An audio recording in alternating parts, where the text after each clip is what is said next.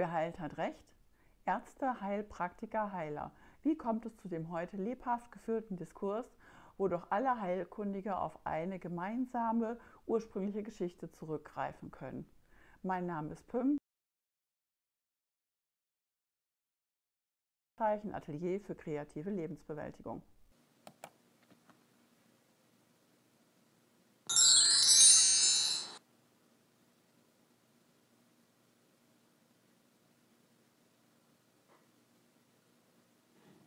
Na, das Video-Intro wiedererkannt. Das ist äh, das Intro, das ich verwendet habe für das erste Video zum Thema Heilkunde. Und heute kommt das zweite Video aus dieser Kurzreihe, das äh, Video über die Heilpraktiker.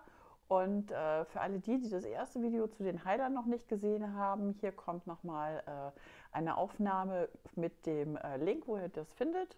Und ich möchte euch bitten, den ersten Teil dann nochmal zu gucken, denn es macht natürlich immer Sinn, Teil 1 vor Teil 2 zu sehen.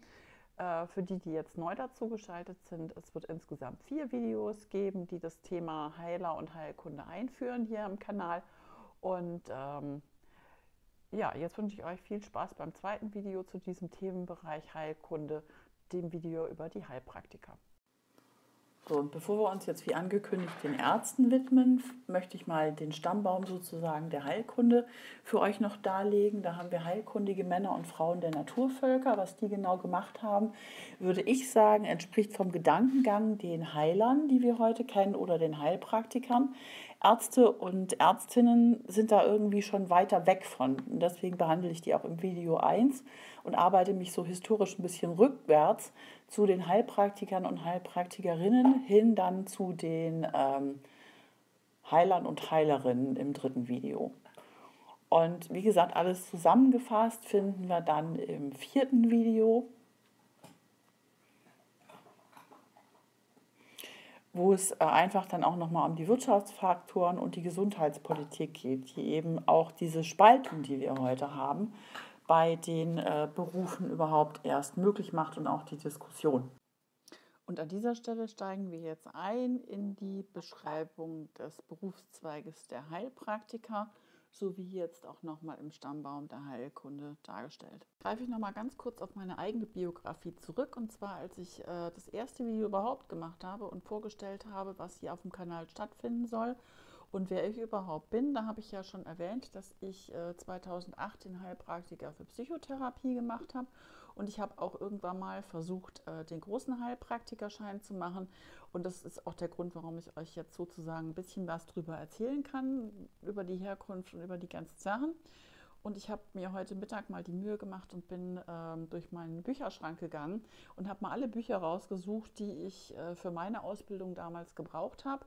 Ähm, die also wirklich staatlich vorgeschrieben sind, um sich später überhaupt Heilpraktiker oder Heilpraktiker für Psychotherapie nennen zu dürfen.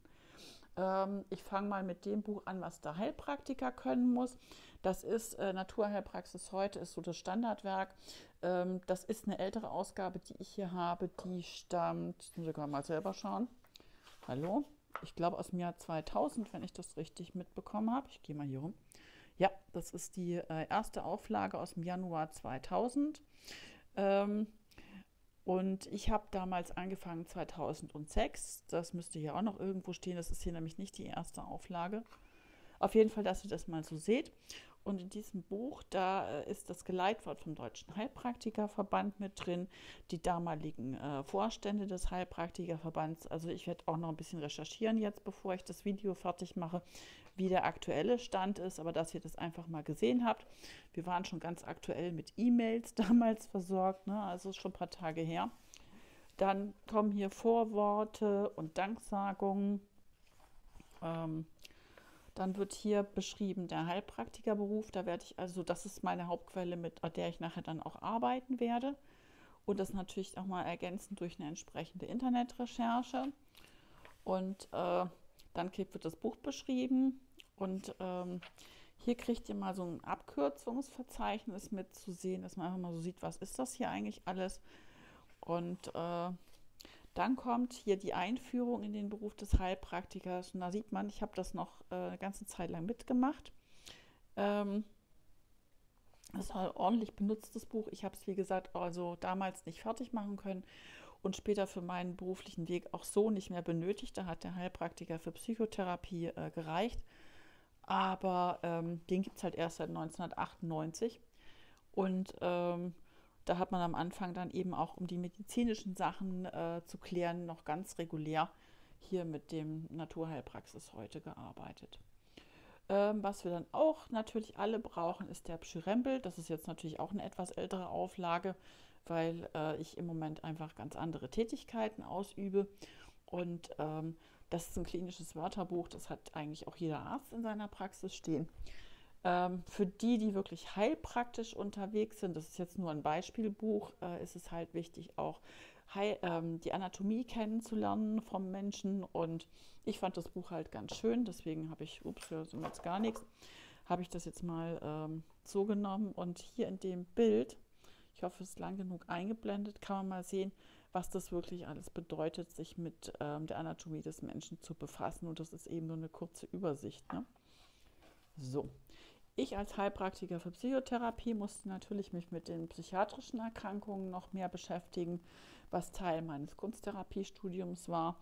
Und das war also hier nochmal Prüfungsvorschriftsbuch, zumindest für Hamburg 2008. Und das hier ist auch ein entsprechendes Lehrbuch, mit dem dann gearbeitet wurde. Also was ich euch damit natürlich zeigen möchte, ist, dass es sich hier nicht um eine Feldwald- und Wiesenausbildung handelt, was viele Leute wirklich denken. Ähm, wenn man das nicht ordentlich macht, dann äh, ist man verantwortlich für seine Patienten eben genau wie ein Arzt und äh, kriegt auch entsprechend ordentlich Ärger, wenn man es nicht äh, richtig hinbekommt. Wo da der Unterschied ist und wo da die Krux ist, auch ähm, in der Konkurrenz und in der ganzen Diskussion, da kommen wir, wie gesagt, im Laufe des Videos nochmal drauf. Um den historischen Überblick und die Reihenfolge zu bewahren, stellt sich jetzt die Frage, welche Heilmethoden sind ab wann bekannt. Und da fangen wir als erstes mit der Kräuterkunde an. Die Kräuterkunde wurde eigentlich äh, sozusagen als eine der ersten Methoden angewandt, äh, in der Antike schon von Medizinmännern und vor allen Dingen von Medizinmännern, äh, Frauen betrieben natürlich, äh, oft mit Schamanismus und den entsprechenden äh, Ritualen gepaart. Ähm, hat sie sich bis heute eigentlich gehalten. Äh, das sieht man sehr schön. Da ist einer unserer modernen äh, Schamanisten dran. Ich glaube, der Mann heißt Spörl oder Spörtel. Ich kenne ihn nicht so genau. Ähm, er soll mir bitte nicht böse sein, wenn ich jetzt seinen Namen falsch ausgesprochen habe und er das Video aus Versehen sieht. Ähm, wer auch in die äh, Zeit noch reinpasst oder wer es dann modernisiert hat, ist Hildegard von Bingen, die das Ganze dann tatsächlich im Mittelalter auf ein medizinisches Niveau gehoben hat und entsprechend auch angefangen hat, die Wirkung von Heilkräutern zu dokumentieren. Da sieht man es nochmal schön. Hildegard von Bingen hat sich mit Ernährungsheilkunde, den Heilmitteln und den verschiedenen ähm, Kräutern in der Anwendung bei verschiedensten Krankheiten befasst. Sie hat das Heilfasten nochmal äh, mit reingenommen und so weiter. Heute ist ähm, Kräuterheilkundlich bekannt Maria Treben, denke ich mal, und eben je nach Interessenslage der ein oder andere Heilpraktiker. Ähm, vor allen Dingen eben im Bereich äh, alternative Ernährung und Vorbeugung. Haben wir nochmal so ein Foto von Maria Treben und ihren berühmten Schwedenkräutern, die man wirklich im Prinzip für alles nehmen kann. Ähm, ich fand das ganz witzig, äh, weil äh, es gibt ja diese Bücher von Edith Pleiten, äh, Honey und Nanny, falls die noch wem was sagen. Und es äh, ist halt einfach ganz trollig, ähm, dass da immer von so einer schwarzen Medizin die Rede ist. Das sind tatsächlich die Schwedenkräuter. Die soll ganz scheußlich schmecken. Ich kann nur bestätigen, sie schmecken scheiße. Ja, das ist Fakt. Aber sie helfen. Unglaublich gut. Und hier sieht man nochmal ein Bild von der traditionellen chinesischen Medizin eingeblendet. Und auch das ist eine schöne Sache. Was es da für unterschiedliche Kräuter alles gibt. Die sind natürlich äh, landestypisch werden auch heute noch verwendet. Dann haben wir die Hydrotherapie, die sogenannten Wasserbehandlungen. So, mal gucken. Ich würde sagen, da ähm, schleitet es auch bei vielen schon. Auch da haben wir wieder die Situation, dass die eben von etlichen Schama Schamanen angewandt wurde. Aber am bekanntesten ist das harmonische Zusammenspiel der fünf Elemente Wasser, Luft und Bewegung. Ernährung für Feuer. Und die Heilpflanzen stehen für das Element Erde, zusammengefasst in dem fünften Element der Lebensordnung.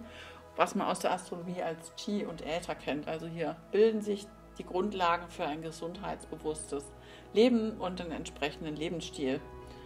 Und ähm, diese fünf Säulen, die gerade eingeblendet worden sind, die hat äh, vor allen Dingen der äh, Sebastian Kneip dann nochmal schön für die modernere Zeit zusammengefasst. Und Sebastian Kneip hat seine Methoden in Bad Wörishofen äh, mit Wassertreten und warmen Bädern äh, praktiziert und ähm, wird ja heute immer noch Kur betrieben. Und ähm, da ist eben auch so ein Ding, es ist immer so eine Frage, ist man jetzt ein Heiler oder ist man ein Arzt? Es ist so beides möglich egal wie man es macht, ne, es ist so, der Übergang ist eben nicht so fest zementiert.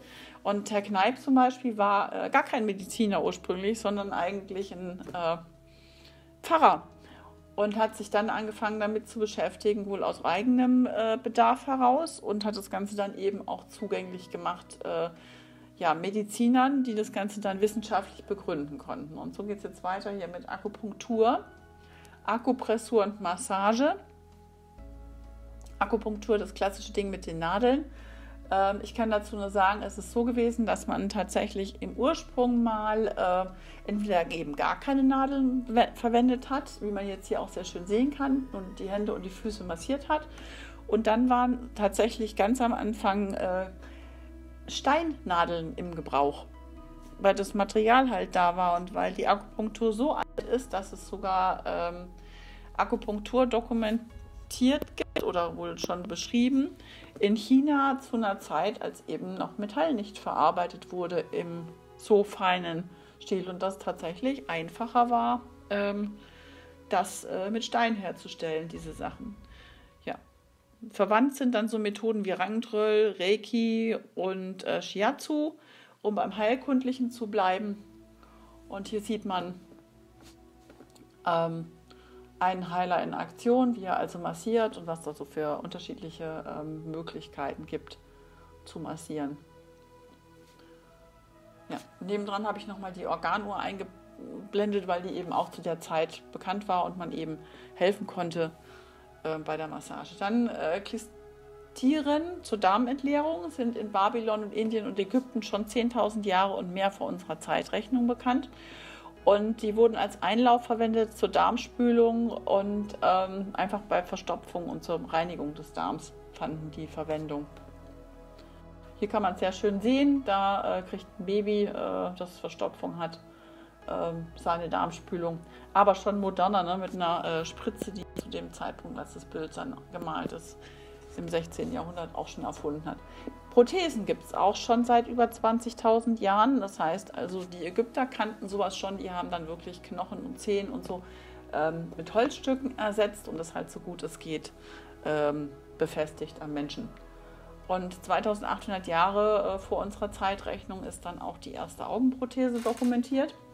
Im 18. Jahrhundert vor unserer Zeitrechnung wird in Mesopotamien der Codex Hammurabi verfasst.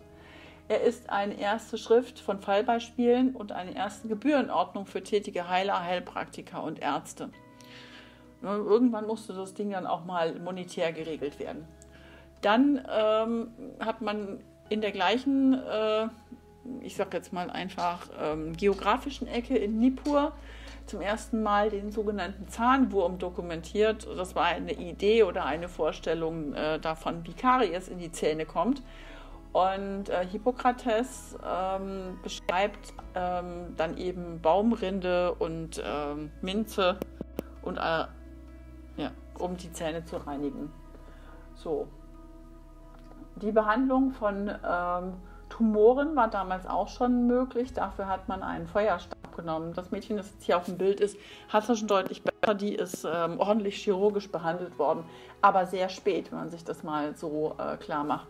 Milzbrand, auch persisches Feuer genannt, kannte man auch schon in der Antike. Bakterien vermehren sich, setzen ein Toxin frei, das Hautzellen zerstört und es ist halt so, dass man das wirklich dann auch auf der Außenhaut sieht. Also ähm, Frühzeichen sind massive blaue Flecken. Das einfach nur für euch, falls mal einer von euch das merkt. Also stößt dich an und hast gleich einen riesen Platschen, dann ist mit der Milz was nicht in Ordnung. Äh, dann ist auch schon die Mund-zu-Mund-Beatmung beschrieben und das könnt ihr selber lesen. Äh, da sah man einfach den Knaben tot in seinem Bett und äh, da wird es einfach sehr schön beschrieben, ähm, wie da die Behandlung aussieht. So, und ab dem 5. Jahrhundert vor Christus entwickelt sich dann die sogenannte Moralpathologie, eine erste Medizintheorie sowie der Eid des Hippokrates. Und diese wird erst abgelöst mit der Zellularpathologie des 19. Jahrhunderts und das ist dann eben schon die Mitte äh, von der industriellen Revolution. Hier steigen wir ein in die Krankheitslehre von den Körpersäften, die sogenannte Humorallehre. Vier-Elemente-Lehre, ähm, bestehend aus der, dem Verständnis, dass alles Sein aus vier Grundelementen Erde, Wasser, Feuer und Luft zusammengesetzt ist. Das sind die Prinzipien des Festen, des Flüssigen, des Gasförmigen und des insgesamt Förmigen. Hier haben wir Hippokrates und Galen, links Hippokrates, rechts Galen. Und äh, deren Schriften und noch die Schriften einiger anderer Leute sind zusammengefasst in der Sammlung äh, Corpus Hippocratium aus der Zeit von 600 vor Christus bis ca. 200 nach Christus.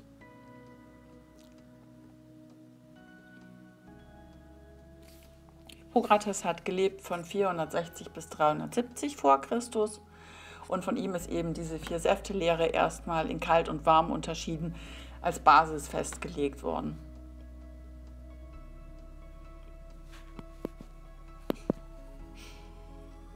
Galenus von Pergamon ist dann 130 bis 200 nach Christus und er hat die Lehre von Hippokrates ausgebaut und verfeinert.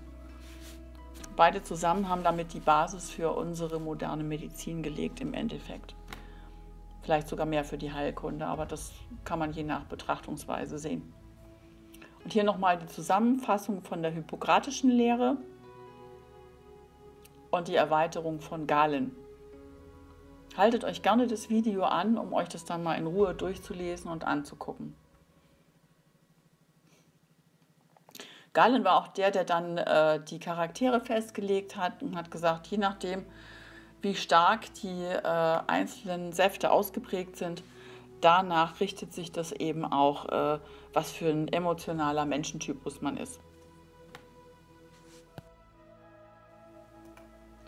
So, jetzt geht es noch weiter mit den Heilmethoden. Nachdem ich jetzt etwas genauer auf Galen und äh, Hippokrates eingegangen sind, äh, habe ich hier ähm, einmal Avicenna und Paracelsus, wobei Paracelsus deutlich später ist. Aber Avicenna ist ebenso der nächste bekannte Arzt äh, um 1000 nach Christus. Da sind wir also schon im Mittelalter drin, parallel zu Hildegard von Bingen.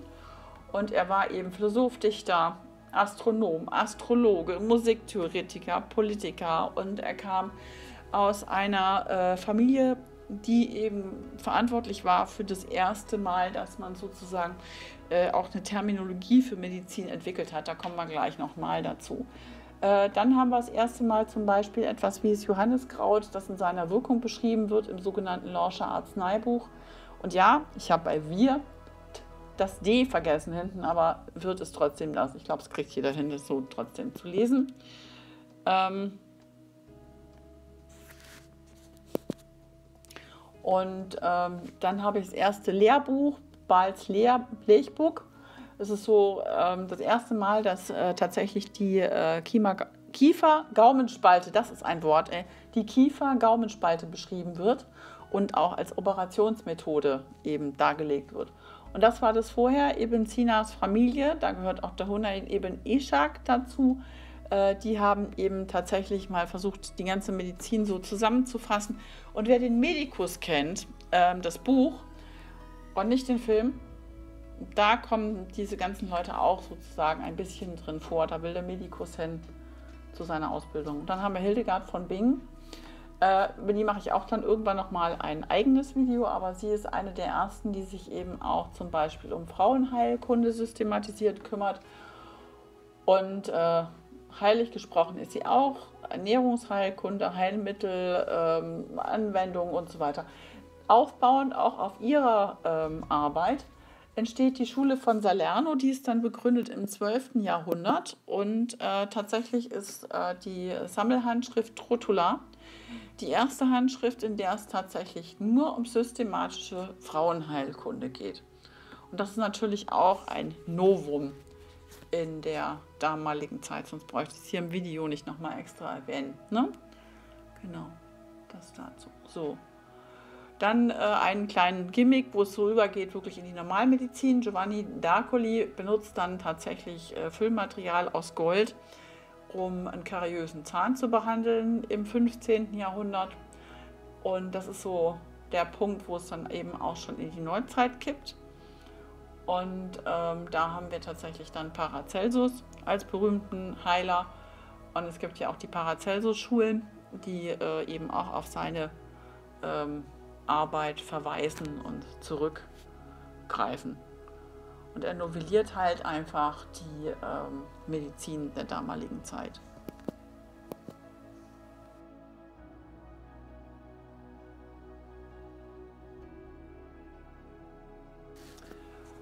Dann kommen wir jetzt auf die Medizin der Neuzeit tatsächlich. Hier wird der Überblick ein bisschen kürzer, weil das habe ich ja schon äh, im Video 1 mit reingenommen. Ähm, da haben wir William Harvey, er beschreibt den Blutkreislauf. Das ist äh, dann auch nochmal eine Wiederholung für euch, die, die das andere Video gesehen haben. Johannes Sigismund Elsholz äh, und äh, hat die erste Injektion bei einem Menschen mit einer Spritze vorgenommen.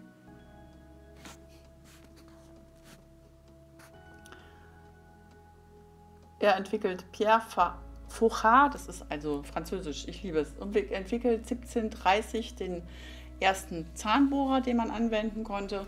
Und dann sind wir bei James Lind, der tatsächlich das erste Mal eine Vergleichsstudie medizinischer Art macht äh, zum Thema Skorbut. Mit dem Schiffsarzt James Lindell sind wir dann nach meiner Meinung auch an dem Punkt angekommen, wo so deutlicher wird, dass äh, sich eben die Naturheilkunde und das, was wir heute unter Gesamteindruck ähm, des Heilpraktikers verstehen, endgültig aufspaltet ähm, von der Medizin weg, die wir heute kennen. Ähm, und deswegen habe ich an der Stelle auch gestoppt. Der Übergang ist natürlich fließend, weil immer Ärzte auch natürlich auf Naturheilkunde zurückgreifen, auf Akupunktur und so weiter. Und äh, man so keine so ganz knallharte Linie ziehen kann. Aber nach Lindel äh, setzt die industrielle Revolution ein es ist eine ganz andere Form von äh, Naturwissenschaft möglich und da bin ich ja schon in Video 1 über die Ärzte äh, ein bisschen im, mehr im Detail drauf eingegangen, was sich daraus alles entwickelt hat. Und äh, hier fange ich jetzt an, mich hauptsächlich äh, auf das Heilpraktikerbuch ähm, zu konzentrieren, dass ich euch nochmal einblende, was ich für die äh, Ausbildung damals mitverwendet habe und äh, werde nochmal entsprechend eben dann auch den Abgleich machen, wie es heute aussieht im Jahr 2021. So, der nächste Abschnitt von dem Video funktioniert jetzt eher wie ein Podcast. Das heißt, ihr, seht eigentlich immer zu den Themen jeweils ein Hintergrundbild. Manchmal blende ich auch noch ein Foto ein, wenn ich eins extra für angemessen finde.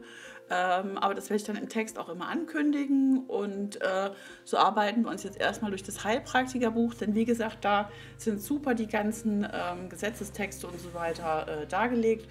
Und äh, das ist eine schöne Struktur, die die sich da einfach ausgedacht haben. Also die Herausgeberin, diese Elvira Bierbach, finde ich, hat es sehr schön strukturiert und da kann man wirklich mitarbeiten. Und jetzt seht ihr ja schon gleich zu Anfang äh, in dem äh, Bildwerk, dass ähm, es hier erstmal darum geht, den Beruf des Heilpraktikers zu definieren. Und äh, ich habe damit angefangen, das jetzt mal hier aus der Sicht des Heilpraktikerverbandes ähm, darzustellen. Und hierzu lese ich euch jetzt einfach was vor zu diesem, aus diesem Buch, das Geleitwort des deutschen, der deutschen Heilpraktikerverbände. Und im Jahr 2000, ich werde dann später nochmal gucken, ob das noch alle so aktuell sind, gab es den Bund Deutscher Heilpraktiker e.V., den Fachverband Deutscher Heilpraktiker e.V., Freie Heilpraktiker e.V., Freier Verband Deutscher Heilpraktiker e.V., Union Deutscher Heilpraktiker e.V., Verband Deutscher Heilpraktiker e.V. Also das sind hier sechs aufgelistete Verbände und ähm, die haben die jeweiligen Vorsitzenden damals haben sich zusammengetan und haben äh, das Geleitwort für dieses Buch geschrieben. Und da lese ich jetzt draus vor. Wer sich für den Beruf des Heilpraktikers entschieden hat, hat sich zum Ziel gesetzt, den kranken Menschen in seiner ganzen Persönlichkeit wahrzunehmen und auf dem Boden dieser ganzheitlichen Sichtweise für jeden Patienten eine individuelle Behandlungskonzeption zu entwickeln. Eine ebenso wichtige Aufgabe ist die Gesunderhaltung der Patienten, Gesundheit ist für den Heilpraktiker die Bewahrung der Zusammenwirkung von Körper, Seele und Geist.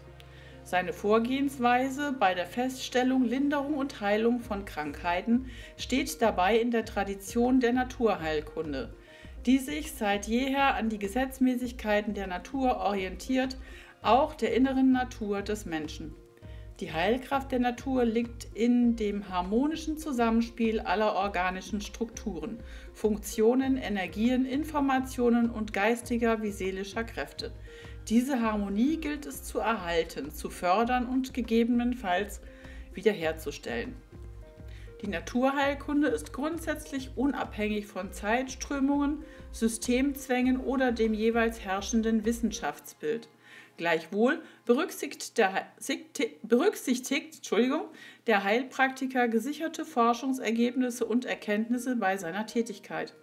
Mit tiefgreifendem medizinischen Wissen stellt der Heilpraktiker seine Arbeit in ihrer ganzen Vielschichtigkeit auf ein stabiles Fundament.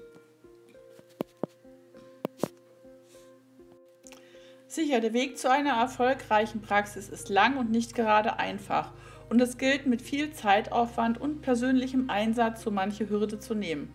Steht der Berufswunsch unumstößlich fest, folgt in der Regel die Anmeldung an einer Schule, die dann innerhalb von zwei bis drei Jahren auf die Überprüfung beim Amtsarzt vorbereiten soll. Ohne den festen Willen, das enorme Lernpensum zu schaffen und ohne die Bereitschaft, auch nach Schulschluss Erlerntes zu vertiefen, ein unmögliches Unterfangen. Hat man sich nach bestandener Überprüfung dann mit dann für ein bestimmtes Verfahren entschieden, folgt die intensive Ausbildung in dieser Disziplin, die unter Umständen ebenfalls Jahre dauert, oft auch eine Assistenzzeit beinhaltet. Nach vier bis fünf Jahren endlich der große Tag, die eigene Praxis wird eröffnet. Viele Investitionen sind getätigt worden, Räume wurden angemietet und eingerichtet, nun kann man loslegen. Der erste eigene Patient sitzt vor uns und plötzlich fällt uns wieder ein, was wir in der langen Ausbildungszeit manchmal schon vergessen glaubten, der eigentliche Grund für unseren Berufswunsch. Wir hatten den festen Willen, Menschen zu helfen, Krankheiten und Beschwerden zu lindern und wo immer dies möglich ist, zu heilen, stets unter Einbeziehung des ganzen Menschen in seiner persönlichen Einzigartigkeit dass es sich dabei nicht bloß um graue Theorie oder pseudo-philosophische Floskeln handelt, bekommen wir sofort in unserem ersten Gespräch mit dem Patienten bestätigt. Wir erfahren tatsächlich etwas über die individuellen Beschwerden, die sich nie auf einen Bereich beschränken, sondern immer das gesamte komplexe und hochempfindliche System von Körper, Seele und Geist betreffen. Ich weiß natürlich nicht, wie es Ihnen gehen wird. Mein erster Tag in der eigenen Praxis gipfelte in einer wunderbaren Erkenntnis, die inzwischen trotz mancher unserem Berufsstand immanenten Widrigkeiten zur alltäglichen, den Praxisalltag begleitenden Gewissheit geworden ist. Ich habe den schönsten Beruf der Welt. Dass auch Sie eines Tages so denken werden und Beruf und Berufung für Sie keine Gegensätze sein mögen, wünsche ich den Lesern dieses Buches von ganzem Herzen. Und äh, diese Worte stammen vom Präsident eines Heilpraktikverbandes, nämlich von Herrn Ulrich W. Sümper. Der ist Präsident vom Bund Deutscher Heilpraktiker gewesen und er hat es äh, 2000 in Warendorf geschrieben. Und ich werde jetzt gleich mal äh, erstens diesen Text nochmal einfügen in das Video und mal gucken, was der Herr Sümper heute so macht. So, ich habe dann im Internet geguckt nach Ulrich Schöper, das habe ich falsch ausgesprochen, entschuldigt bitte. Und tatsächlich ist es so, dass ähm, es den Berufsverband der Heilpraktiker Deutschland, deutschen Heilpraktiker, Entschuldigung, äh, der Herr möge es mir bitte nicht übel nehmen, noch ganz so gibt, wie es also sein soll. Er ist da auch nach wie vor der äh, Vorsitzende mit seinen beiden Kollegen, die man hier auf dem äh, Bild sehr schön sehen kann. Und ähm, ich habe mich dann noch ein bisschen weiter auf der Seite getümmelt und da seht ihr schön, dass auch der Herr Sümper ähm, ursprünglich einfach wirklich auch andere Berufe gelernt hat und äh, man kommt zum Heilpraktikerberuf eigentlich über Lebenserfahrung. Und dann ähm, habe ich hier so äh, auf der Seite etwas gefunden, was ich auch ganz schön finde, nämlich diese kleine Seite mit den Heilpraktikerfakten. Und die blende ich ein bisschen längerfristig jetzt für euch ein, sodass die Zeit besteht für jeden, der das Video guckt, ähm, das Ganze auch durchzulesen. Und wem es immer noch zu schnell ist, den bitte ich einfach darum, dass er jetzt einmal auf Pause drückt. Ich lese das jetzt nicht alles vor, weil da steht einfach drin, wo man sich weiter über den Beruf informieren kann, was grundsätzlich äh, der Beruf als solches ist. Und äh, ja, macht einfach Sinn, wenn ihr euch das selber anguckt. Äh, es ist als Anregung gedacht für die, die jetzt nach dem Video vielleicht auch die Überlegung haben, äh, in den Beruf reinzusteigen. Und äh, während das Bild hier durchläuft, erzähle ich euch mal aus meiner praktischen Erfahrung, die leider nicht ganz so erfolgreich und ganz so erfreulich ist. Ich hätte unheimlich Spaß dran, diese Ausbildung noch fertig zu machen. Aber man muss diese Ausbildung selber bezahlen. Das heißt, das ist schon mal ein Hemmschuh Nummer eins. Und dann muss man halt leider auch ähm, die Praxisfinanzierung machen. Auf die kommen wir später auch noch mal zu sprechen, weil ich habe gedacht, ich mache mal hier wirklich so ein Grundlagending. Die Berufsverbände versuchen zu helfen. Also ich möchte hier gar niemanden ankreiden. Äh, ganz zu Anfang habe ich ja auch noch die anderen Berufsverbände genannt. Die sind auch noch alle Existenz, aber weil er halt in dem Buch mit drin vorkommt, habe ich jetzt ähm, einfach gedacht, ich bleibe mal bei diesem Heilpraktikerverband. Habe mir das Ganze angeschaut und es ist halt wirklich, es ist eine freiberufliche Tätigkeit. Da kommen wir nachher noch drauf, was das genau bedeutet. Und ähm, es ist einfach nicht ohne in diesen Beruf einzusteigen. Und jetzt sieht man auch hier, ähm, gibt es auch eine Seite mit den Büchern, die äh, zurzeit empfohlen werden. Und da ist die sechste Auflage von dem Naturheilpraxis heute, aus dem ich eben jetzt auch die Sachen zitiere. Ähm, und auf dieser Überblicksseite, auf dieser Rezessionenseite könnt ihr übrigens auch schöne neue Bücher und interessante Bücher finden. Die kann man sich auch mal geben, wenn man nicht Heilpraktiker werden möchte. Äh, weil einige der Sachen darf man in einigen Bundesländern auch zum Beispiel als Heilpraktiker für Psychotherapie anwenden. Und wir werden uns ja nachher auch vielleicht nochmal über das Thema Homöopathie unterhalten, weil ich das jetzt hier gerade eingeblendet bekomme. Und ähm, Homöopathie ist ja zurzeit sehr umstritten, ist ein Politikum. Das wird mit Sicherheit also auch noch einen Teil im vierten Video zum Thema Heiler bekommen. Das ganze Thema äh, Homöopathie ist für mich auch ein Beispiel in dieser maskentragenden Zeit, ähm, in der es halt viel um Angstverbreitung und Panikverbreitung geht, ähm, wie solche Dinge politisiert werden, egal ob man jetzt die Homöopathie mag oder nicht. Wir haben das auch mit Heilpflanzen im Wechsel immer wieder. Also das ist noch ein spannendes Thema, das kommt dann im Video 4. So, zur Einführung in dieses Buch kommt natürlich auch die Heilpraktiker-Anwärterin zu Worte.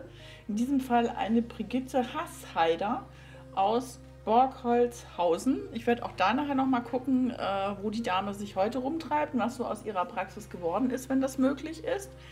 Und äh, 2000 ist die Anwärterin für die Heilpraktikerprüfung, also die Azubine sozusagen. Deswegen habe ich hier geschrieben, Beruf des Heilpraktikers aus Sicht eines HP-Azubis. Und dann geht das los. Was mache ich hier? Was tue ich mir an? In drei Wochen wird meine Überprüfung nach der zweiten DVO zum Heilpraktikergesetz durchgeführt. Der mündliche Teil. Der schriftliche hat bereits stattgefunden. Jetzt, vor dem Endspurt, kurz pausierend zwischen Anamnese, Erhebung und akuten Notfällen, bedenke ich, wie ich bis hierher gekommen bin. Dabei begann alles so einfach. Ich kann ganz gut massieren und wollte dies, wie es so schön heißt, in ganzheitlicher Weise tun. Nachdem ich eine entsprechende fernöstliche Technik erlernt und mit naiver Begeisterung losgelegt hatte, zwang mich die hiesige Gesetzeslage zu der Einsicht, dass es damit nicht getan war. Denn wer in unserem Land die Heilkunde ausüben will, bedarf dazu der Erlaubnis. Völlig in Ordnung. Da, er darf keine Gefahr für die Volksgesundheit darstellen. Auch klar. Er muss grundlegende Kenntnisse nachweisen in der folgende Rattenschwanz der zu erwerbenden Wissenschaft bot hinreichend Anlass, mich von autodidaktischen Bestrebungen zu verabschieden. Ich ging auf eine Heilpraktikerschule. Der Rattenschwanz geriet zum Pferdeschweif.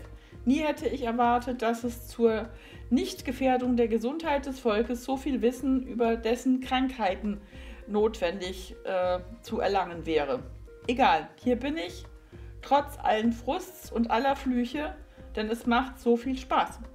Man lernt rudelweise nette Leute kennen, die alle auf derselben Spur entlang traben. Man drischt gemeinsam, drischt gemeinsam pralle Körper aus trockenen Gesetzestexten man wird in trauter Eintracht hypnot hypochondrisch, wenn prompt bei allen die Symptome der eben zu lernenden Krankheiten auftreten. Ja, und eines Tages geht man zur Prüfung, siehe oben. Schade fast, denn sie war gut, die Zeit der Vorbereitung. Ich weiß jetzt so viel mehr über diesen Beruf, über mich. Nichts, was sich in leere Worte fassen ließe. Trotz aller Schwierigkeiten war diese Zeit voller Freude am Lernen, an der Medizin, an den Menschen, die mir unterwegs begegnet sind. Ich wünsche allen dieselben positiven Erfahrungen. Tja, und jetzt habe ich eine Recherche gemacht und habe leider zu Frau Haas-Heider gar nichts gefunden. Das kann verschiedenste Gründe haben. Äh, ich gehe mal davon aus, sie hat die Prüfung bestanden und es sind in dem Buch auch echte Personen zitiert. Aber das Leben ist ja bunt und lustig und die Welt ist groß. Tja, nach dieser erfolgreichen Recherche wenden wir uns dem nächsten Abschnitt zu. Und zwar beschreibt jetzt eine Heilpraktikerin mit dem Namen Anna Obermeier auf Schluss Holte äh, mit ihrer Praxis ansässig, äh, ja, ihren beruflichen Alltag. Ich erinnere mich noch gut, wie es damals war in meinem alten Beruf. Früh morgens und dann häufig noch schlaftrunken aufstehen, mit mehr oder etwas weniger Widerwillen zur Arbeit, immer wieder Höchstleistungen bringen, ohne Motivation und zum Feierabend wie ausgelaugt sein. Tag für Tag, Jahr aus, Jahr ein. Die Erkenntnis, wie endlich und kostbar meine Lebensspanne ist, brachte mich nach und nach zu der Entscheidung, die Ausübung des Berufslebens mit Sinn und Überzeugung zu füllen. Seit Oktober 1994 ist mein Traum Wirklichkeit. Jeder Tag in meiner Naturheilpraxis bedeutet eine neue Herausforderung. Jede Patientin, jeder Patient hat den Anspruch auf meine uneingeschränkte Aufmerksamkeit, meine Konzentration, auf mein Zuhören, auf mein Verstehen für ihre oder seine seelische und körperliche Verfassung, auf mein verantwortungsvolles Handeln. Behandeln Sie bzw.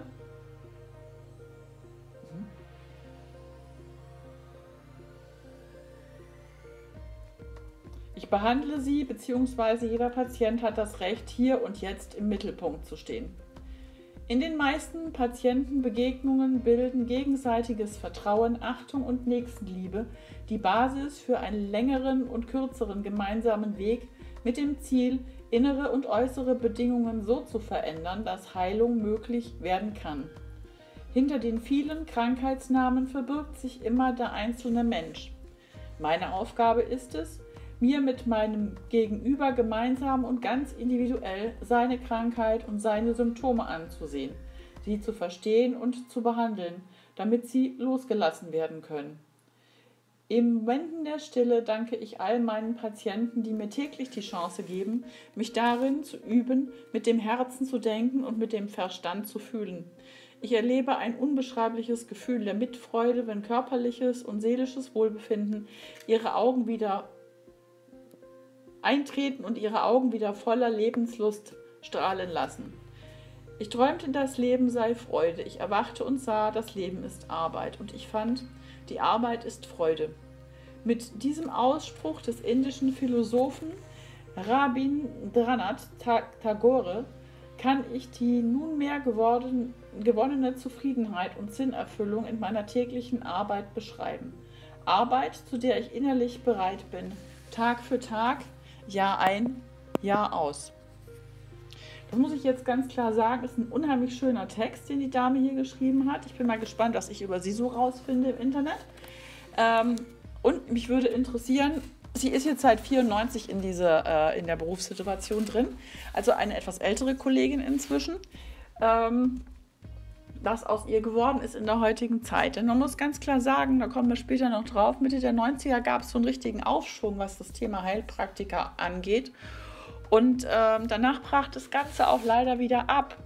Und äh, verhängt es eben, wie gesagt, an dem, was wir später noch haben, an diesen immensen Kosten und auch an äh, der Art, wie unsere Politik eben über diese Kosten Praxisgründungen verhindert und blockiert. Das betrifft auch den Heilpraktiker für Psychotherapie und das gleichzeitig in einer Zeit, wo einfach jeder medizinisch kundige Mensch und jeder Psychotherapeut im Grunde gebraucht werden. Es widerspricht sich also in sich, aber was soll man machen? So, und ich schaue mal jetzt, was ich finde. So, bei Frau Obermeier war ich jetzt ein bisschen erfolgreicher. Ähm, leider ist die Dame aus einer Generation, wenn sie seit 94 praktiziert, ne? also entweder ist sie wahrscheinlich schon in Rente inzwischen und hat die Praxis vielleicht an ihre Tochter abgegeben, so sieht es zumindest im Internet aus, oder an irgendjemand anders mit dem gleichen Nachnamen. Naja, und äh, sie ist auch eine Generation, die noch nicht so viel sich mit Homepage auseinandergesetzt hat. Und ähm, das heißt also, äh, man kann das noch finden von ihr. Ich hätte mich gefreut, wenn man mal ihre Seite gesehen hätte, wenn sie dann eine gehabt hätte, um einfach auch mal so eine Seite von einem Heilpraktiker vorzustellen und mal äh, zu zeigen, was die alles so anbieten. Ich gucke mal jetzt, was ich noch an Alternativen finde. So, und ich bin dann auch ganz schnell fündig geworden und äh, habe einerseits äh, mich hier mal direkt bei mir in Bremen umgeguckt. Und äh, da kommt jetzt gleich ein Beispiel. Hier sind so äh, die Ergebnisse, die drei ersten Suchergebnisse, die Google mir angezeigt hat. Und jetzt hoffe ich, dass gleich die Seite da aufspringt von den Leutchen. Äh, das sind richtige Heilpraktiker. Na hopp. Geduld, Geduld, Geduld.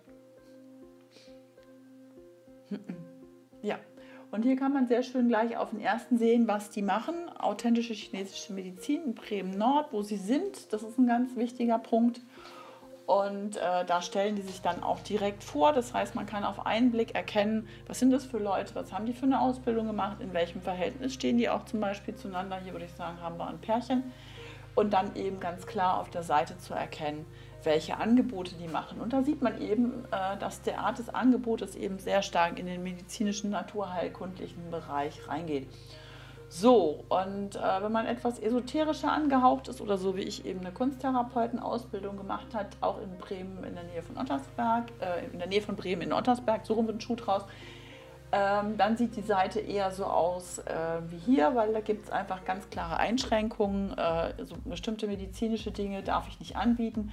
Aber alles, was in den psychotherapeutischen Bereich reinfällt, und da sind eben auch Bachblüten mit dabei, und Anfänge der Kräuterheilkunde, die sind dann so auf meiner Seite zu finden. So, jetzt habe ich ja schon mehrfach erwähnt, dass äh, der Heilpraktiker beim Amtsarzt geprüft wird, übrigens auch der Heilpraktiker für Psychotherapie. Und äh, wenn das Video nicht zu lang wird, werde ich euch mal den Schwank zu meiner Ausbildungs-, äh, zu meiner Prüfungssituation erzählen. Es war zum Brüllen komisch. Aber jetzt halte ich mich erstmal an den Text von Herrn Dr. Med Reinhard Lubbe, Gesundheitsamt Kreis Minden-Lübbecke, wie gesagt aus dem Jahr 2000. In Deutschland darf die Heilkunde nur von Ärzten und Heilpraktikern ausgeübt werden. Von gewissen Einschränkungen abgesehen steht somit der Heilpraktikerin und dem Heilpraktiker ein sehr weites Feld an heilkundlicher Betätigung offen, sowohl bei körperlichen als auch bei psychischen Erkrankungen. Das Heilpraktikerwesen ist ein fester Bestandteil des Gesundheitswesens der Bundesrepublik. Viele chronisch Kranke gehen, geben sich sowohl in die Betreuung der Schulmedizin als auch der Heilpraktiker. Die Gesundheit ist ein besonders hohes Gut, das staatliche Verantwortung unterliegt. Hierbei spielt Gesund das Gesundheitsamt eine besondere Rolle. Dieses hat zwei Aufgaben im Heilpraktikerwesen. Es soll auf der einen Seite die Aufsicht führen über die tätigen Heilpraktiker und auf der anderen Seite die Überprüfung durchführen bei Bürgern, die den Heilpraktikerberuf ergreifen möchten. Im Bereich der Aufsicht gibt es in jedem Bundesland eigene Regelungen, die sich inhaltlich aber sehr ähneln.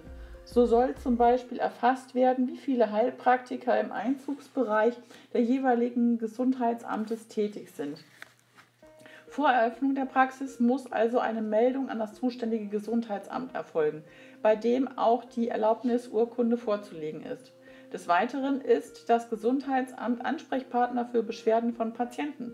Würde zum Beispiel hygienische Mängel angemahnt, so wäre eine Praxisbegehung möglich. Auch obliegt es dem Gesundheitsamt, die praktizierenden Heilpraktiker über etwaige Behandlungsverbote oder Auflagen zu informieren.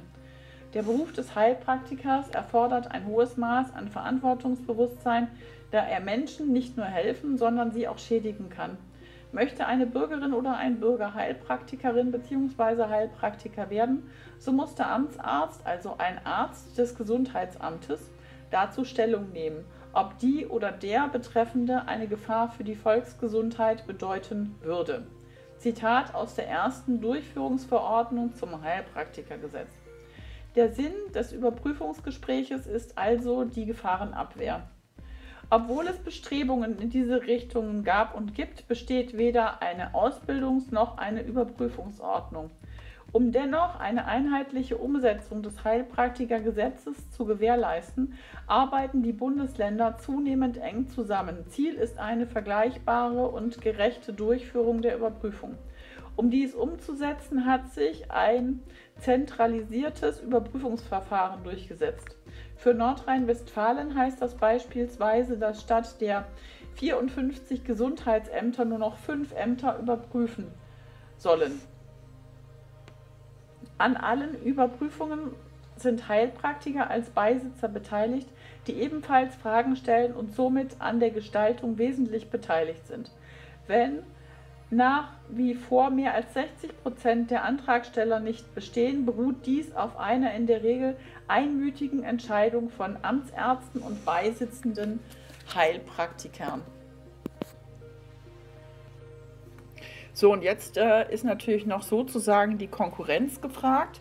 Und zwar der Heilpraktikerberuf aus Sicht eines Arztes für Naturheilverfahren. Und äh, hier in dem Buch von der Elvira Bierbach, also die ist ja Herausgeberin, äh, wird, man hier, wird hier zitiert der Dr. Med Michael Petok, Facharzt für Allgemeinmedizin, Homöopathie, Naturheilverfahren, Chirotherapie, Umweltmedizin, auch aus Bielefeld ebenfalls so, ähm, wie vorhin der Herr ähm, Lubbe aus Lübbecke.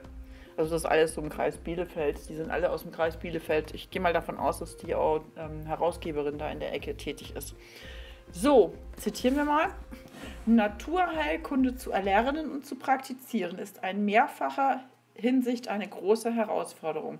Neben fundierter naturwissenschaftlich orientierten Kenntnissen gilt es, eine breite Ausbildung in dem großen Spektrum der Erfahrungsheilkunde zu absolvieren. Im Rahmen der naturheilkundlichen Fortbildung sollten nicht nur moderne Richtungen, sondern auch alte traditionelle Möglichkeiten erlernt werden. Diese reichen bis in den Bereich der Volks- und Laienmedizin hinein. In den Behandlungsfeldern zählen nicht nur die von der wissenschaftlichen Medizin eindeutig definierten Krankheitsbilder, sondern auch die große Anzahl der sogenannten funktionellen und zum Teil als psychosomatisch angesehenen Beschwerden. Neben der Therapie von Krankheiten hat die Beratung zu einer gesundheitsunterstützenden und krankheitsvorbeugenden Lebens- und Verhaltensweise einen großen Stellenwert. Dazu zählen die Ernährung, die Ordnung des Lebens, Entspannungstechniken, baubiologische und umweltmedizinische Aufklärung und vieles mehr. Es gehört zu den herausragenden Aufgaben der Naturheilkunde, nicht nur kranke Organe zu behandeln, sondern kranke Menschen. Erst das Mitempfinden und das Erfassen der ganzen Person, der Persönlichkeit, macht eine umfassende Behandlung möglich. Die einfühlsame Haltung Patienten gegenüber ist eine wichtige Voraussetzung des Behandelns. Wichtigster Grundpfeiler vor jeder Therapie ist die Klärung der aktuellen Krankheitssituation, ihrer eventuellen Bedrohlichkeit und die Erstellung einer Diagnose. Diese Regel der der wissenschaftlichen Medizin gilt uneingeschränkt auch für die Naturheilkunde. Bei Zweifeln die Hilfe eines Erfahreneren hinzuzuziehen, zeugt von Größe und wird von Patienten fast immer positiv bewertet. Wer die Behandlung auf ein solides Fundament stellt, wird für Kranke viel Gutes tun können. Dazu bedarf es eines erheblichen Lernaufwandes und einer bleibenden Kritikfähigkeit dem eigenen Handeln gegenüber. Unter diesen Voraussetzungen werden jedoch naturheilkundig Tätige die Achtung und das Vertrauen ihrer Patienten gewinnen und behalten. Wie man daraus hört, steht dieser Herr dem ganzen Thema Heilpraktiker sehr offen gegenüber. Ähm, das ist leider nicht immer der Fall. Äh, das wird man dann im vierten Video nochmal sehen, äh, wenn es um das Thema Politik geht. Äh, natürlich sind auch viele Heilpraktiker ähm, Kritik ausgesetzt. Das hat teilweise echte inhaltliche Gründe. Ähm, da kommen wir gleich nochmal zu, wenn ich jetzt versuche, eine Übersicht über die Heilverfahren noch zu geben zum Ende dieses ersten Videos hin zum Thema Heilpraktiker. Und ähm, manchmal ist es auch schlicht und ergreifend, wie gesagt, Politik und politisch beeinflusst. Und äh, da kommen wir dann auch noch dazu.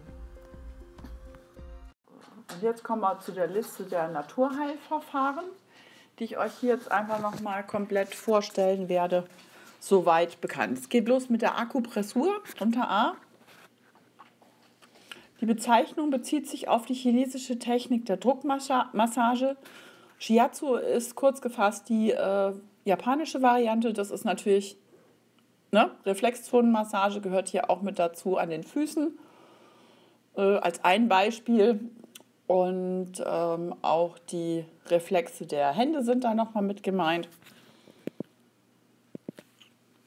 Und jetzt kommt auch gleich noch ein Bild, ähm, wo man sieht, wie jemand äh, einen anderen einrenkt. Das äh, ist auch ein Teil aus dem Shiatsu.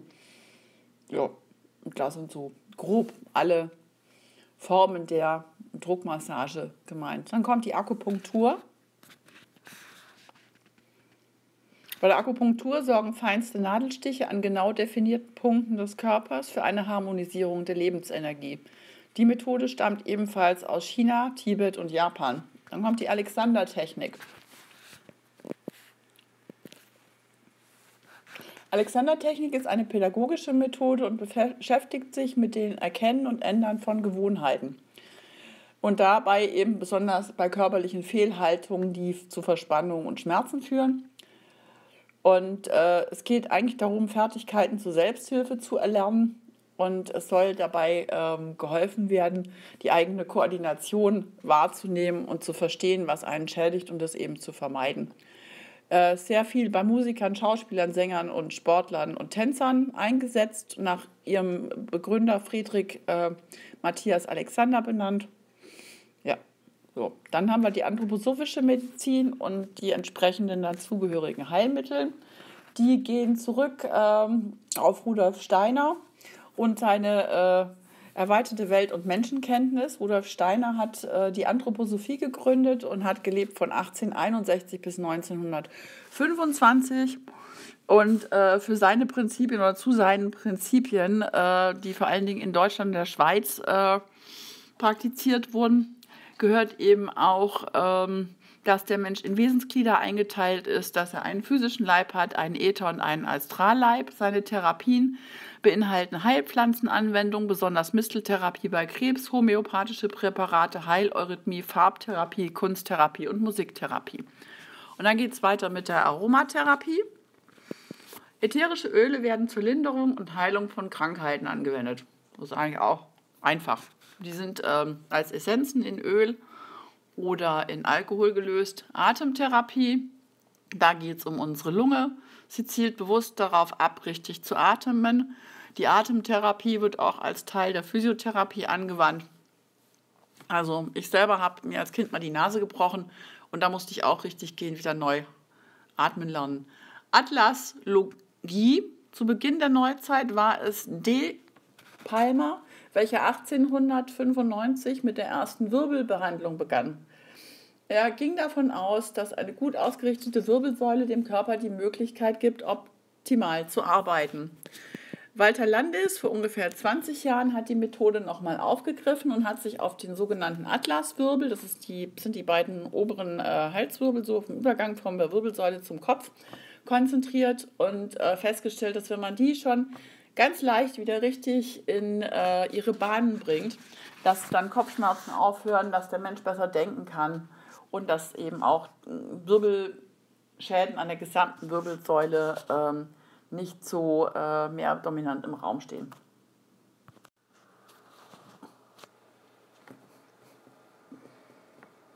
Gerade der Halswirbel ist halt sehr empfindlich bei Verschiebungen und äh, da gibt es also wirklich massive äh, Kopfschmerzen. Kann schon bei der Geburt zum Beispiel passieren.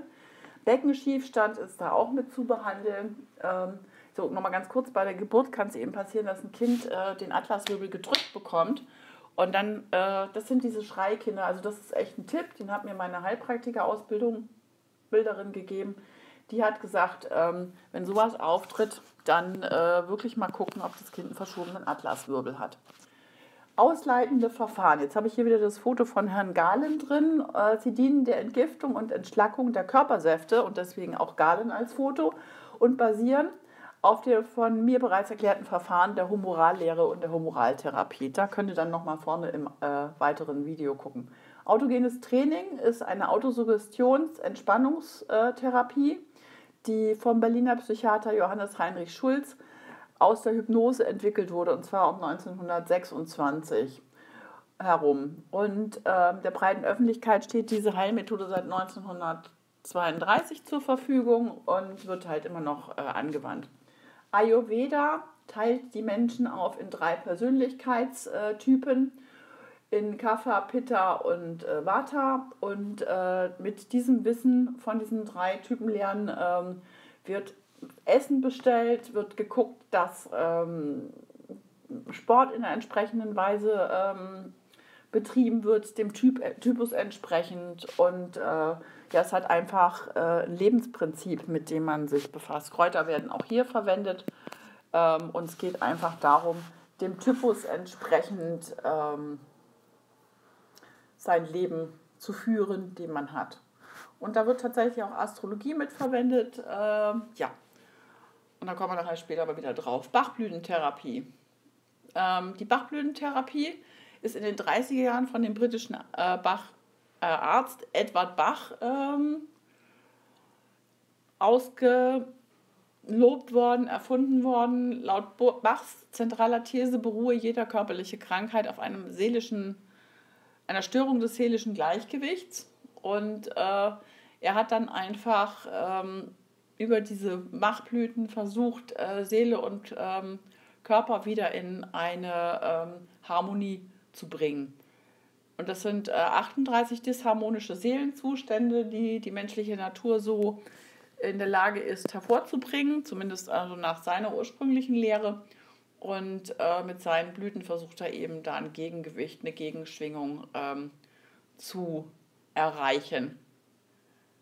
So, und äh, die Pflanzen werden bei ihm in Wasser gelöst, heute auch teilweise in Alkohol und da sind dann sogenannte Blütenessenzen, die dann dafür eingesetzt werden. Bindegewebsmassage. Die Bindegewebsmassage, auch subkutane Reflextherapie, SRT genannt, wurde 1929 von Elisabeth Dicke begründet. Es handelt sich um eine Massage, die als Neuraltherapie auf dem Konzept der Hedgen Zonen basiert. Das sind Körperzonen äh, im, im Bein, also unter, im Gewebe. So, es werden hier bei Haut- und Unterhaut- und Faszientechnik zur Behandlung der Bindegewebszonen eingesetzt. Bioresonanztherapie. Das sind diese Silberdinger, die man in die Hand nimmt. Basis der Bioresonanztherapie ist die Radionik, die in den 1920er Jahren in den USA von Albert Abrahams Abrams entwickelt wurde. Die Radionik ist Teil der Energie- bzw. Informationsmedizin und geht davon aus, dass um jeden Menschen herum eine feinstoffliche Aura, ein feinstoffliches Energiefeld existiert. Also aus der Ecke stammen auch äh, Aurenlesegeräte, äh, dass man die Aura lesen kann. Ja, später entwickelte der Arzt Franz Morell und Ingenieur Erich Rasche aus der Radionik die Bioresonanztherapie, die anfangs noch unter dem Namen Murat-Therapie bekannt war. Ne? Also abgeleitet von den beiden Nachnamen. Die Therapiegeräte sind eben auch von den äh, beiden Herren dann entwickelt worden. Kolonhydrotherapie. Na, da ist schon der Darm im Blick. Es handelt sich hierbei um eine Methode der Darmspülung mit dem Ziel, vor allem den Dickdarm zu reinigen und zu entleeren. Elektroakupunktur. Die Therapie anhand der Leitfähigkeit ähm, des Gewebes wird geprüft, was man für eine ähm, Krankheit hat. Farbtherapie und Kunsttherapie, da habe ich einen eigenen Bereich, weil ich ja ausgebildete Kunsttherapeutin bin. Es geht einfach darum, positive Wirkungen der Farbe auf Körper und Seele äh, zu verstärken. Das kann man eben machen, indem man selber künstlerisch tätig wird. Oder man kann das machen, indem man Räumlichkeiten um sich herum mit einer bestimmten Farbe gestaltet oder sich selbst auch mit bestimmtem äh, Licht bestrahlen lässt. Feldenkreis. Unter Anleitung eines Lehrers beobachten die Schüler oder Schülerinnen ihre Haltung und ihre Bewegung, um sich der dahinterstehenden Lebensmuster bewusst zu werden. Massagen und ähnliches. Die Fußreflexzonenmassage ganz am Anfang bei der Akupressur schon mal genannt, aber wir haben natürlich auch noch ganz viele andere Massagetechniken. Ich habe die jetzt mal als Beispiel weiter so gelassen. Ähm, sie fällt in den oben beschriebenen Themenkreis, was ich eben auch sagte, zur Akupressur und ähnlicher Methoden. Steht aber halt einfach als ein äh, für alle auch bekanntes äh, Beispiel. Hier ist dann auch der Übergang zum Reiki, was nachher nochmal gesondert kurz erklärt werden wird. Aber alles, was halt mit Handauflegen ist, kann hier auch eingeordnet werden. Denn Füße und Hände spiegeln äh, einfach nochmal unsere gesamten Organe wieder. Derzeit heiß umstritten ist wieder mal die Homöopathie. Globulis, ne? also Homöopathos heißt vom Altgriechischen gleich oder gleichartig oder ähnlich. Und äh, Pathos ist auf Deutsch Leid und Schmerz. Und äh, Samuel Hannemann hat 1796 seine Vorstellungen äh, veröffentlicht, äh, dass Gleiches mit Gleichem geheilt werden kann. Und äh, danach soll ein homöopathisches Arzneimittel so ausgewählt werden, dass die Inhaltsstoffe der Grundsubstanz an Gesunden ähnliche Krankheitserscheinungen hervorrufen können wie an demjenigen, der an einer bestimmten Krankheit äh, leidet. Und ähm, es wurden von Hannemann und seinen Nachfolgern halt viel, ähm, ich sag mal, Forschungen betrieben, aber mal sehen, wohin sich das Ganze noch entwickelt. Hydrotherapie ist die Therapie sämtlicher Anwendungen von Wasser zur Vorbeugung und Behandlung von Erkrankungen. Das ist eigentlich ganz einfach. Ne? Ähm, da kann man Bäder nehmen, man kann kaltes Wasser nehmen, man kann warmes Wasser nehmen, man kann zum Beispiel bei Sebastian Kneip komplett ins Wasser reingehen. Ähm, ja, oder nur mit Teilen des Körpers. Äh, wie das genau funktioniert, hatte ich auch vorhin schon mal. Jetzt sind wir bei der Hypnose. Eine Hypnose ist eine Technik, mit der Menschen sich selbst oder andere in einen anderen Bewusstseinszustand versetzen. Naja, man spricht von hypnotischer Trance. Dieser Zustand geht mit körperlichen und psychischen Veränderungen einher. Unter Hypnose lassen sich verschüttete Erlebnisse aufarbeiten und Angststörungen behandeln und positive Kräfte aktivieren. Also es sind auch schon Operationen äh, unter der Hypnose durchgeführt worden und äh, es sind Angststar äh, Angststörungen, wie gesagt, behandelt worden. Ja, da gibt es eine Menge. Dann die Iris-Diagnose. Die Regenbogenhaut im Auge, auch Iris genannt, wird hier zur Anamnese herangezogen. So. Und es ist tatsächlich so, dass man diesen Kreis einteilen kann. Äh, Im Hintergrund seht ihr das ähm, ganz grob. Durch ihre Betrachtung, also durch die Betrachtung der Iris, wird erkannt, ob der Patient krank oder gesund ist und was er hat, also welches Körperorgan betroffen ist. So, und äh, zwar sind dann so kleine schwarze Flecken zu sehen. Kinesiologie ist eine vergleichsweise junge Disziplin der Alternativmedizin.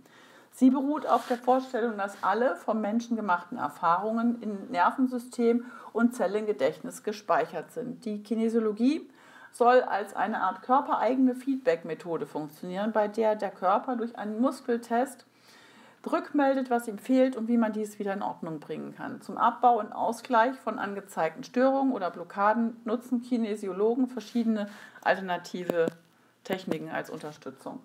Die klassische Massage gibt es natürlich auch noch. Die kommt aus Schweden anscheinend und ist eben auch die bekannteste und am weitesten verbreitete Form der Massage. Da geht es eben darum, die Muskeln zu lockern und Beweglichkeit wiederherzustellen. Lymphdrainage dieses Therapiekonzept hat zum Ziel, das gestörte Gleichgewicht zwischen der Menge von Gewebewasser und der Leistungsfähigkeit der Lymphbahnen wiederherzustellen. Neuraltherapie.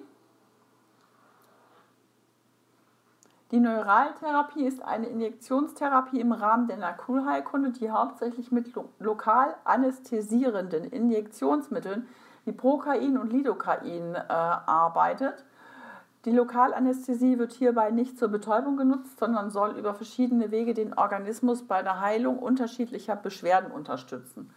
Ohrakupunktur, Auriculotherapie. Die Ohrakupunktur ist ein Teilgebiet der Akupunktur. Angewendet wird sie bei Schmerzen, Allergien und seelischen Problemen. Ähnlich wie bei Händen und Füßen ist es halt so, dass ähm, dass auch das Ohr einmal den gesamten Körper widerspiegelt und man das einsetzen kann, um zu akupunktieren. So, Raucherentwöhnung klappt damit auch ganz gut. Oligotherapie. Das habe ich vorher auch noch nie gehört. Das Wort Oligos kommt aus dem Griechischen und heißt wenig klein. Und im Hintergrund sieht man schon, was man da dazu gibt. Zum Beispiel Magnesium, Zink, Eisen. Also es geht darum, dass es äh, in kleinen Mengen dem Körper zugeführt wird und äh, dass dadurch dann die Selbstheilungskräfte durch diese zugeführten Spurenelemente aktiviert werden soll. So, Selbstheilungskräfte. Selbstheilungskräfte hatte ich gerade vergessen, aber das ist auch ein Wort.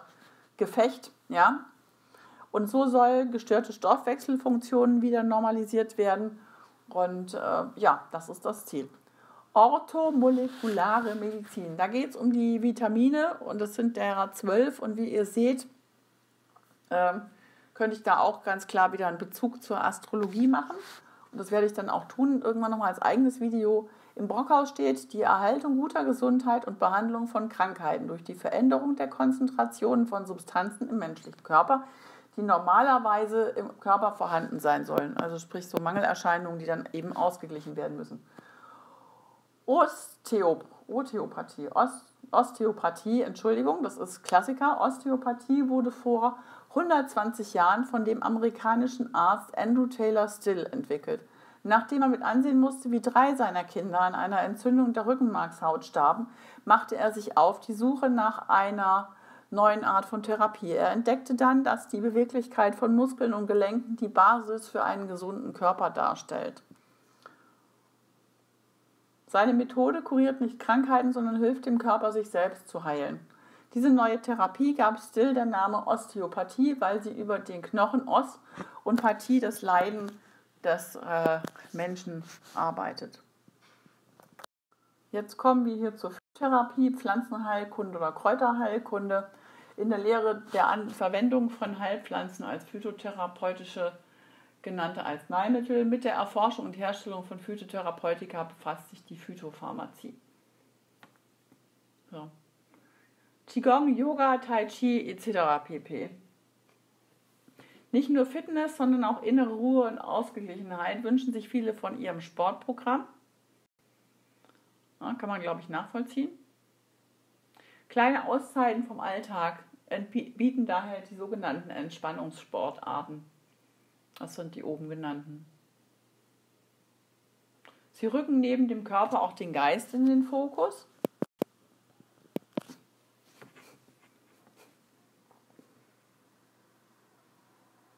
Je nach Trainingssystem, gesundheitlichen Erfordernissen und individuellen Vorlieben gibt es die richtige Entspannungssportart eigentlich für so ziemlich jeden. Reiki und Strömen und so weiter.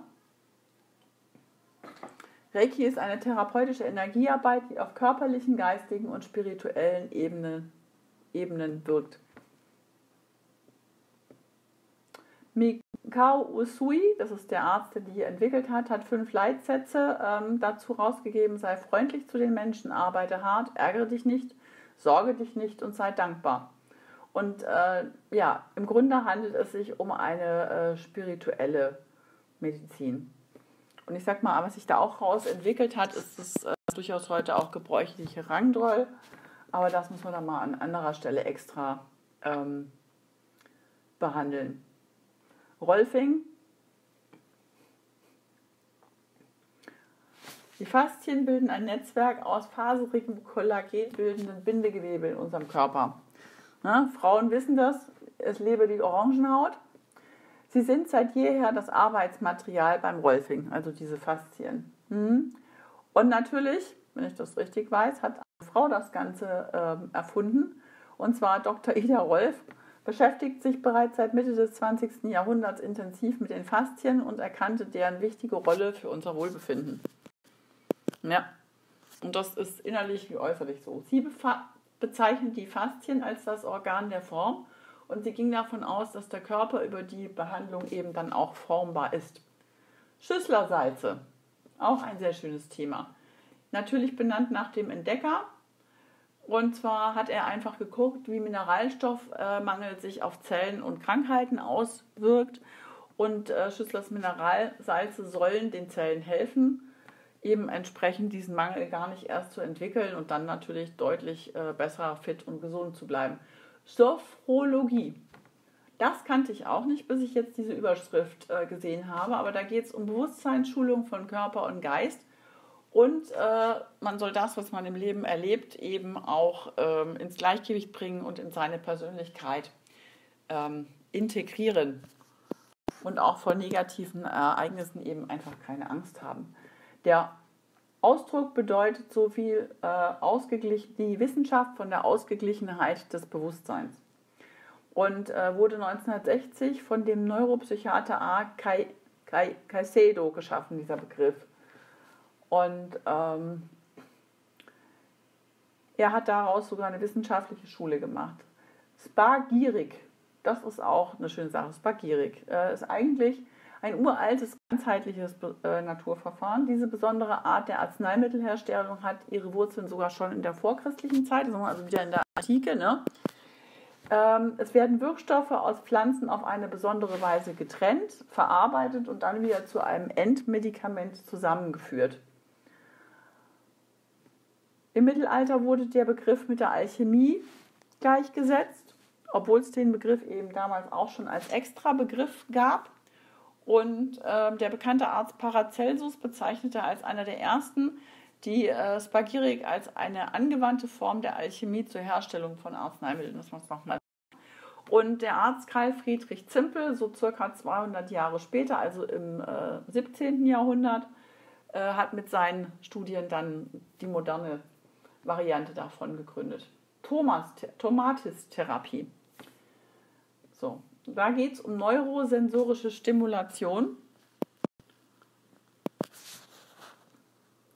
Und zwar ist es einfach so, dass es Menschen gibt, die äh, große Schwierigkeiten haben, sich emotional oder äh, kognitiv zu konzentrieren, sich wirklich auf ein Gespräch aufmerksam äh, einzulassen. Und die schalten dann entweder ab oder werden total anstrengend, sowas, was ein bisschen Richtung ADHS geht. Und dieses Hörerziehungsprogramm, was der Herr Tomatis da ähm, entwickelt hat, ist so, dass, ähm, dass Musik und äh, Stimme aufgearbeitet werden und man dadurch dann eben entsprechend stimuliert werden soll, je nach Krankheitsbild. TCM, traditionelle chinesische Medizin, besteht aus klassischer chinesischer oder tibetischer Diagnostik sowie unterschiedlichen Behandlungsmethoden auch aus diesem Bereich. Ähm, die werden dann oft einzeln oder in Kombination ähm, angewendet. Das kann Akupunktur sein, das kann aber auch Kräuterheilkunde sein oder ähm, Steinheilkunde. Vitalogie ist dann das nächste hier. Da geht es wieder ganz klar um den äh, Atlaswirbel, das hatten wir vorhin schon. Das ist eine Weiterentwicklung. Dr. Peter Hugler, Absolvent der Palmer Universität für Chiropraktik in äh, Amerika hat diese Methode begründet und ähm, er versuchte halt erneut herauszufinden, warum Menschen so chronisch erkrankt sind und hat es dann eben auch auf diesen Atlaswirbel zurückgeführt und hat dann äh, ja, damit eben gearbeitet und gesagt, wenn der Atlaswirbel gerade steht, dann äh, sind auch äh, bestimmte andere Leiden nicht mehr so stark und äh, wenn man da die Nervenbahnen von Druck befreit, dann ist es eine wunderbare Sache dafür. So, leichte Verschiebungen des Kopfgelenkes äh, wirken sich halt tatsächlich schon auf Schmerzbereiche in der gesamten Wirbelsäule aus. Und wenn ich gerade stehe, ja, also sprich der blockierte Atlaswirbel, wenn, äh, geht oft über den dafür typischen Verspannungen im Nacken- und Schulterbereich einher. Und wenn die gelöst sind, hast du natürlich schon einfach weniger Schmerzen. Ne? Das ist ganz klar. Und wenn der Wirbel in seine Urposition zurückgebracht wird, dann entspannt sich eben auch die ganze Rückenmuskulatur und dann können Nerven sich beruhigen und der Körper kann seine Selbstheilungskräfte zum Einsatz bringen. Und das ist eine durchaus probate und äh, wirkungsvolle Schmerztherapie. Und das waren jetzt alle Heilmethoden.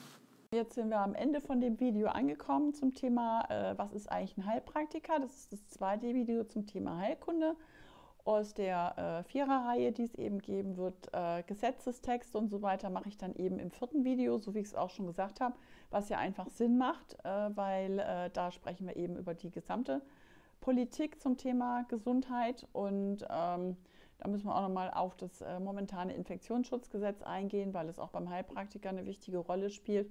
Ich habe wieder richtig Lust bekommen äh, auf meine Praxis und freue mich, wenn der Lockdown vorbei ist und äh, werde dann hier einiges vorbereiten. Da kommen dann auch noch Videos dazu. Wenn es euch gefallen hat, dann seid so lieb und gebt mir einen Daumen hoch. Wenn es euch nicht gefallen hat, naja, dann muss ich mit dem Daumen runter leben. Toll, ist was anderes. Kommentare wie immer erwünscht und erbeten. Und äh, nächste Woche gibt es dann ein Video zum Thema Kunst. Ich denke, ich werde äh, mal meine ganzen Upcyclings vorstellen und zusammenstellen, zumindest einen ganzen Teil davon. Mal gucken, wie lang das dann wird und vielleicht gibt es dann da auch zwei, drei dazu. Alles klar, wünsche euch was. Tschüss.